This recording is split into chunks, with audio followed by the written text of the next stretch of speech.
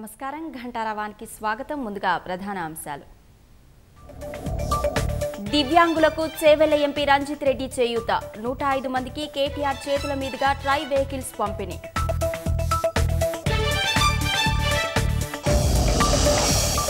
దేశంలో కొత్తగా ముప్పై ఐదు వేల ఆరు వందల అరవై రెండు మందికి కోవిడ్. నిన్న ఒక్కరోజే రెండున్నర కోట్ల టీకా డోసులు.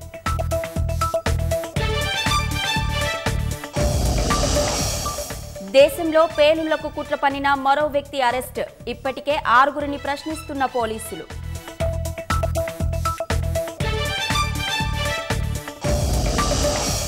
కాబూల్ డ్రోన్ దాడి తమ తప్పిదమేనన్న అమెరికా. ప్రజల మరణానికి కారణమైనందుకు క్షమాపణలు.